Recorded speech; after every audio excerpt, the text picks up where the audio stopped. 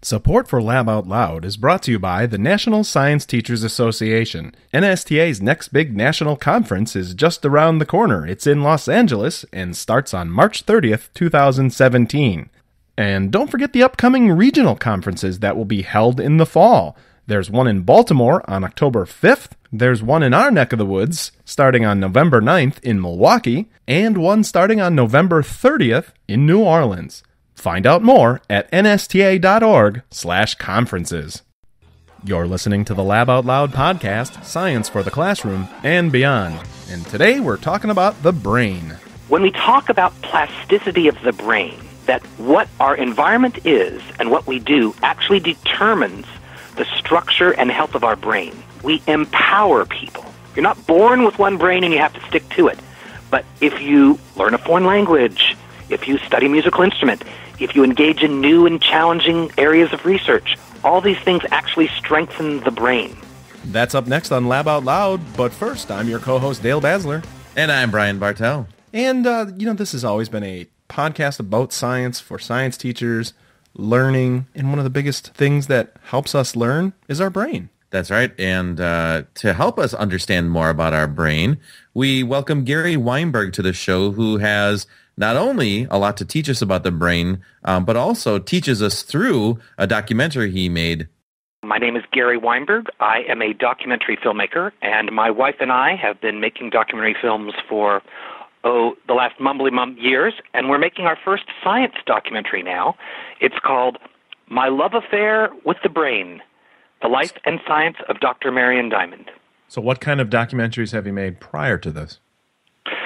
Really all kinds. Uh, I'm an armchair fan of Darwin, so I like to promote diversity, and that's true in my own career. We have made heartfelt, universal human stories, such as the story of mothers and daughters, and then fathers and sons, which tells mm-hmm. core human relationships.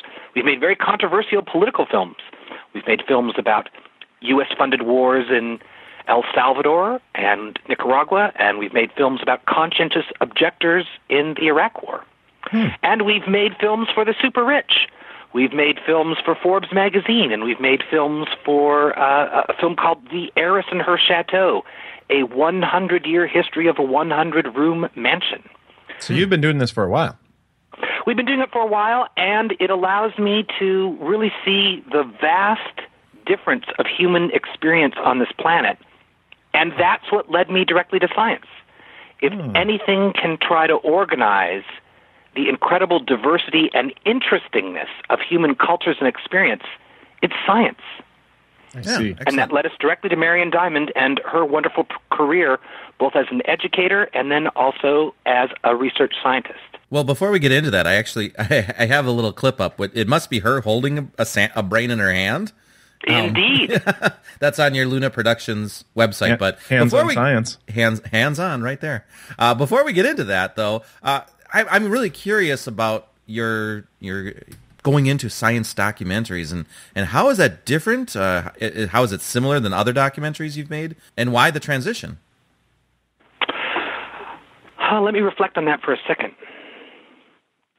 Well, there's a small story of the transition, which is that our previous PBS documentary had been about the war in Iraq and conscientious objectors. So the net effect of making that film really had an impact on me. And when we found the story of Dr. Marion Diamond and her amazing teaching of anatomy, the idea of making a documentary that celebrated anatomy as a life affirming field of study felt so appropriate and so healing that I felt highly motivated to tell her study. And then the more I got to know her, both as a researcher and as a professor, I thought, oh, literally millions of people need to know about her, with an especial emphasis for people in science education. She's such a shining role model, well, especially for women and girls, but truly for everyone about what it means to have a life in science, a passionate, rewarding life in science. So this which almost... is why we ended up with a non-traditional science film title, "My Love oh, Affair yeah. with the Brain."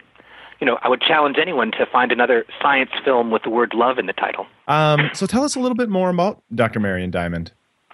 Well, perhaps her number one claim to fame is when she put her anatomy lectures on YouTube at, back in 2005, and she has gotten 1.7 million views of those anatomy lectures from then till now.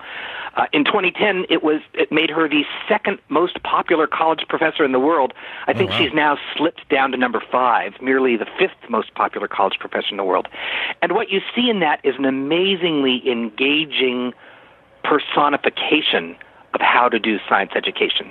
For those of you who have studied anatomy, it can be as dry as dry can be. It can be like reading tax laws. You know, it's a list of terms and functions and structures. Mm-hmm. So to bring that to life is an incredible achievement. And literally for decades, she was the most popular teacher at UC Berkeley where she taught.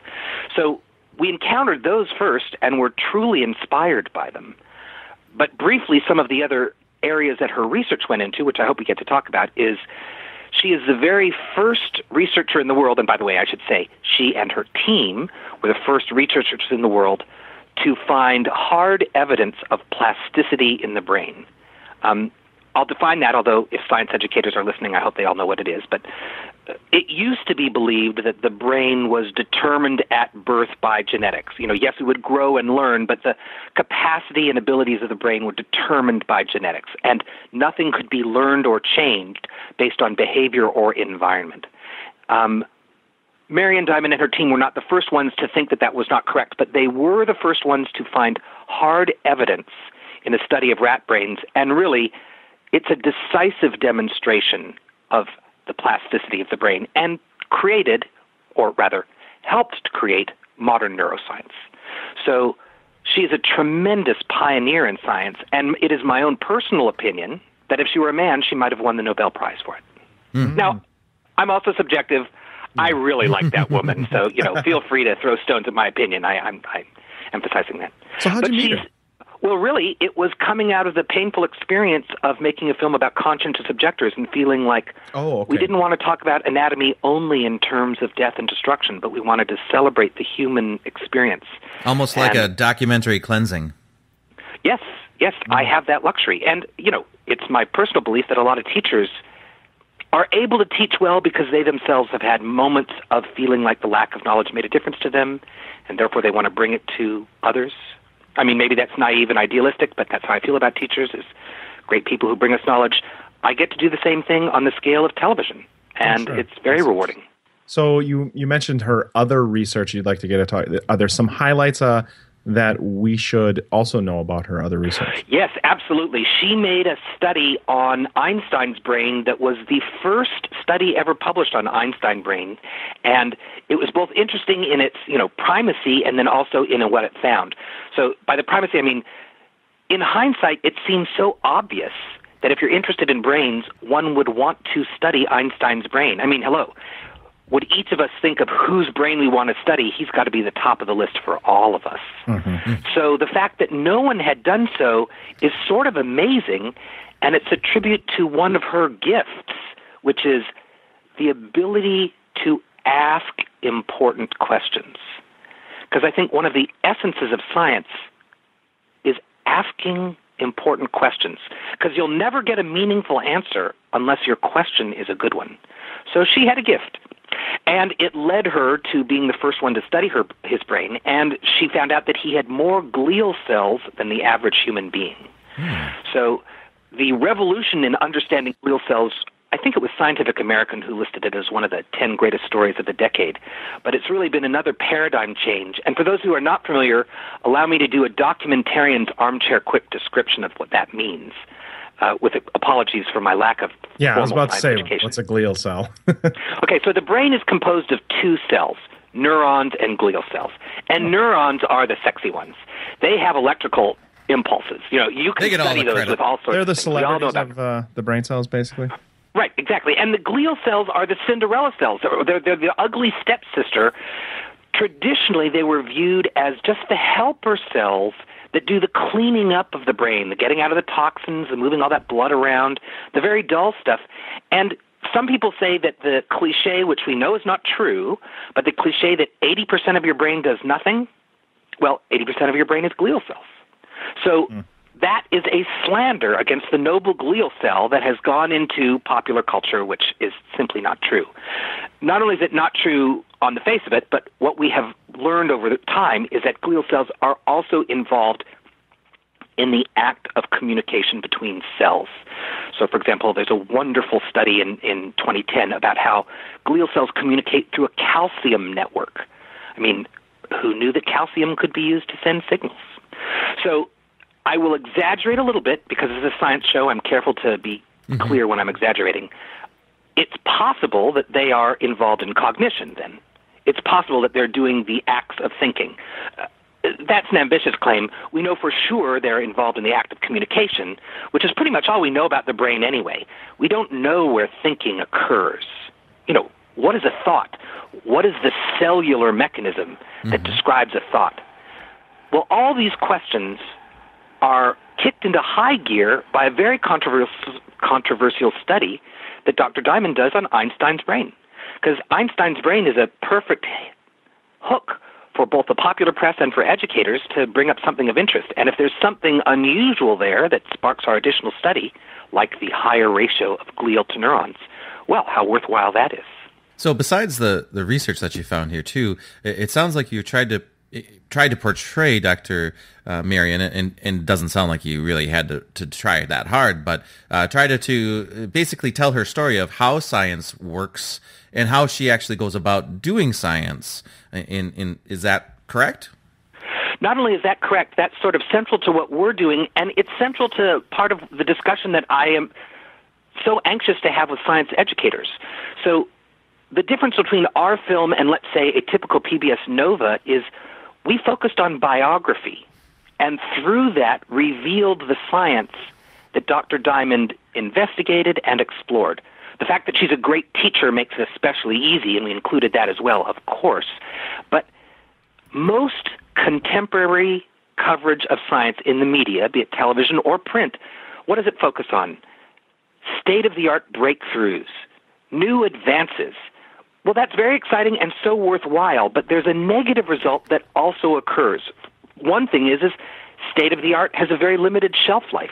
Mm-hmm. And when there are things like paradigm change, all that media coverage is then simply wrong because there's a new advance that disproves the old. And then secondly, if you do coverage of breakthroughs, science becomes a series of snapshots one off things, one right after another. So if I'm a normal citizen and in one year I read that drinking coffee is bad for me, and in the next year I read that drinking, drinking coffee is good for me, have I learned anything about science other than that it is confusing? Mm. No. My knowledge is not furthered by the one at a time study of these things. Biography is different, and it introduces the human element to the scientific method. I think, uh, and this is important in so many ways. I think recently the the new Nova, uh, not new Novas, um, Cosmos, the new no- Cosmos with uh, Neil deGrasse Tyson, those were very biographical. Well, and actually, the in 2011, Nova did put out what Darwin never knew, and that series. I love that series. The, the first main piece is, is basically going through Darwin's life, and it was much more about the human element as he was going through figuring out the his theory of evolution and also the challenges and the you know the the process that went to it and in his real life struggles as well. I mean, to me yeah. that that was more powerful than just you know what is evolution and how does it happen. And Cosmos did it with animation, I think, excellent, and told the, the human stories too. And it's an excellent way for an audience and makes sense for us to connect to. Well, gentlemen, you are voicing my very argument by pointing out exceptions to it. And, and I'll add one more because I agree with you. And that is the history of science is largely organized around biography. Mm-hmm. So when we think of gravity, we think of Galileo's experiments, not just the experiments, but the man himself. And we don't talk about the universal law of gravitation, we talk about Newton's laws. And, you know, in math, you know, many people are familiar with Archimedes and his math, but perhaps the single most famous story is of his murder by a Roman soldier. He's drawing calculations in the sand, and he's so engrossed in the calculations that he doesn't realize that a life threatening Roman is giving him orders. And he's like, Don't erase the circles. I'm working on something. You know, that shows you how profoundly persuasive and relevant math is that for him it was more important than a life-ending threat. So, you know, I think we're all agreeing on the place for biography, Sure. and I'm not suggesting I'm the only one, by all means. No, but sure. it's a delight to practice it specifically in a contemporary way, to not just have the old dead scientists' life stories told, but a living one, and that makes her role model for all of us that much stronger. I also Ah, remember yeah. reading uh, Richard Rhodes' uh, "The Making of the Atomic Bomb," and and that also injected quite a bit of, of you know biography into it as well. The the story and the politics behind everything that else was happening, along with the science too. And yeah, you got me. I I, I do uh, I do appreciate that kind of uh, narrative and storytelling in science as well. So as this is a, a documentary, a science documentary, and and I imagine there's probably a little bit of um, artistic license that you have when doing a documentary. Do you run into problems when you're dealing with it in in terms of science? Because, well, it's science. Let me count the ways. I'll tell you, one of my biggest fears, if not the biggest fears, was that I would make some factual or scientific error. So, thank Yeah, how heavens, did you avoid that? well, the subject of my film is one of the great teachers and science educators in the world, in my humble opinion. Not to leave anyone out, but to nominate her into that pantheon. And I am sure Dr. Diamond has seen this film a hundred times. Every time I had a problem, I would bring it to her. And to her amazing credit, for example, if I would put together a scene that was excessively personal, for example, one afternoon I filmed with her while she was making Thanksgiving pies for her family. It was a marvelous opportunity to talk about the scientists who had inspired her in her youth and why women scientists make good cooks in following recipes. And you know just a, a marvelous wide ranging discussion. So i edited it down to 15 minutes and she looked at it and she said oh that'll be 10 seconds in the finished movie. So not only Oh, was she a good scientist but a, a good critic. And and by the way she was exactly right. It turns into 10 seconds.